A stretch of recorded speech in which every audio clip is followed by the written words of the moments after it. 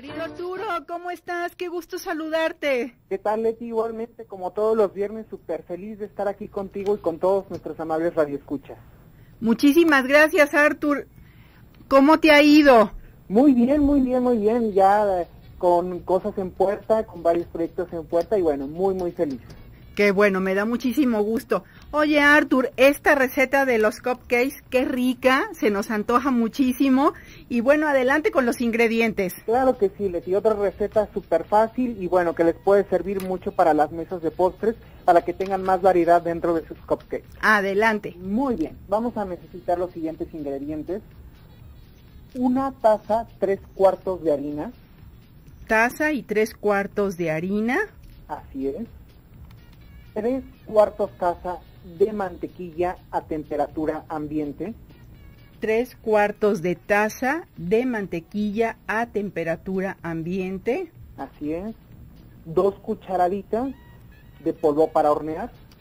Dos cucharaditas de polvo para hornear. Media cucharadita de sal. Media cucharadita de sal.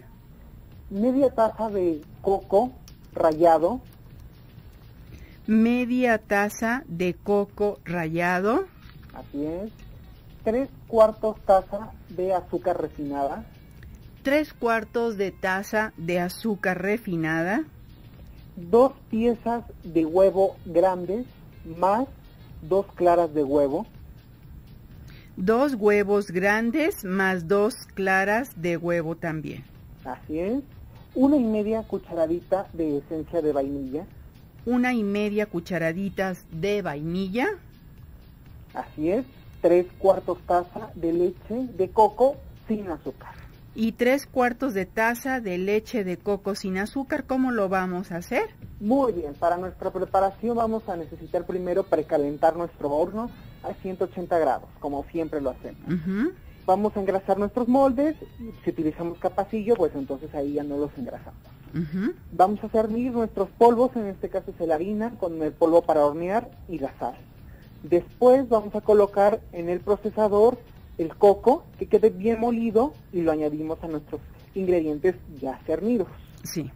Ya después en la batidora vamos a, batir la mantequilla, a cremarla junto con el azúcar hasta que esté bien blanqueada, hasta que esté de un color amarillo muy pálido, hasta ahí la trabajamos.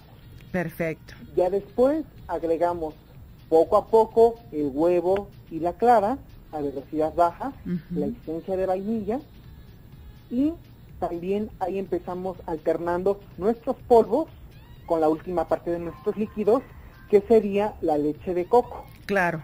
Entonces ahí incorporamos perfectamente, nos ayudamos con nuestra miserable para terminar de incorporar nuestros ingredientes y ya procedemos a verter la mezcla a dos tercios de los capacillos o del molde engrasado y horneamos de 15 a 20 minutos.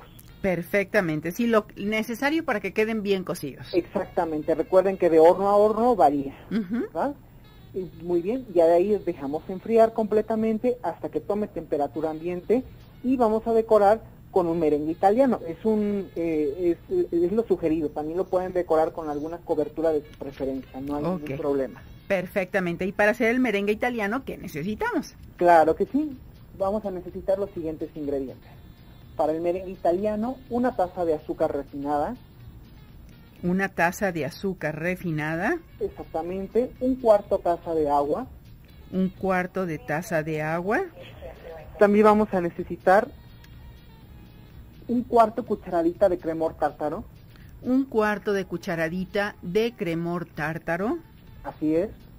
75 gramos de clara de huevo, que serían aproximadamente dos piezas. 75 gramos de clara de huevo, que serían aproximadamente dos piezas o dos y media, ¿verdad? Porque más o menos son como 30 gramos. Exactamente, ahí, ahí llega a variar un poquito el peso. Ajá, sí. Si son grandes, lo, lo haces muy bien. Exacto. Y ya por último, media cucharadita de esencia de coco u otro sabor que sea de su preferencia. Perfecto. ningún inconveniente. Me encanta que sea con esencia de coco, ¿eh? Muy buena idea de, de utilizarlo, muy diferente. Eh, me encanta esta sugerencia que nos das y sí la pueden encontrar en el mercado. En, los, en las tiendas especializadas, ahí en Santa Tere, en el mercado de abastos, en los mercados cualquiera que vendan materias primas, ahí la pueden encontrar. ¿Y cómo lo podríamos hacer? Muy bien, esta es una técnica básica que ya la, ya la tienen que tener bien dominada la mayoría de nuestros escuchas, pero vamos a dar un repaso. Muy bien, y aquí vamos a colocar en fuego alto el azúcar y el agua. Vamos a dejar que hacer un jarabe y que suba a 118, 121 grados, que esto es un jarabe a punto bola suave. Sí. ¿Verdad? Entonces, cuando está en este punto, batimos nuestras claras a punto de turrón, ya que empiecen a subir y que estén bien, bien esponjaditas, agregamos la miel y continuamos batiendo y ya después vamos incorporando poco a poco, poco a poco, hasta que se forme nuestro merengue, como, como una recomendación muy importante el merengue debe de quedar tibio, porque si lo dejamos batir hasta que esté frío, queda muy reseco. Sí. ¿Verdad? Sí, sí, sí, tienes toda la razón. Entonces ahí es una parte muy, muy importante. Ya en este punto ya podemos agregar nuestro, este, nuestra esencia en la parte final, para que no se vaporice el sabor en caso de que sea una base de agua. Si es base oleosa, no se va a difuminar el sabor. Perfecto pues quedan, ya me imagino que desde que los vas a morder ya te está dando el aroma a coco, qué delicia. Y si luego todavía le pones un poquito de coco tostado, bueno, pues ya no hay pierde, ya se sabe de qué son. Y qué rico Mira, estoy pasando saliva porque me encanta el coco. A mi marido y a mí nos encanta el coco. Y bueno, qué rico, qué rico, porque la verdad que sí los voy a hacer, Artur, como todas las recetas que nos das. Muchísimas gracias. Me encantó este detallito. Yo uso mucho la esencia de coco, pero para otras cosas. Claro, para pastelería, pero no lo había hecho en el merengue italiano. Me encantó porque es un muy, muy buen tip que me das en lo personal y que nos compartes con todo el público, como siempre. Artur, ¿dónde podemos encontrarte? Claro que sí, me pueden encontrar, bueno, en mi celular en el que es el 33 35 97 24 77. Ay, espérame despacito.